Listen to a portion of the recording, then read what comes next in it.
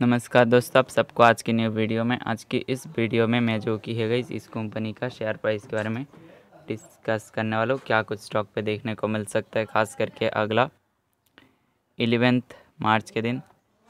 तो वीडियो को एंड तक देखना, मैं एनालिसिस का कर रहा हूँ डेली चार्ट पे।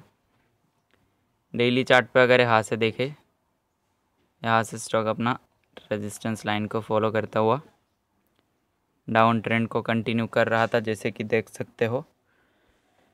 अभी पिछले दो दिन से थोड़ा सा सस्टेंस कर रहे इस लेवल के आसपास।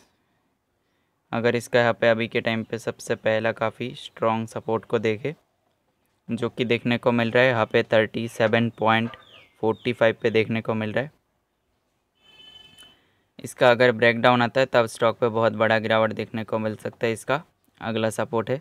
Thirty five point zero five पे है इसका अगला सपोर्ट और रेजिस्टेंस को देखा जाए तो गई यहाँ पे इसका thirty nine point zero zero पे इसका काफ़ी स्ट्रॉन्ग रेजिस्टेंस देखने को मिल रहा है।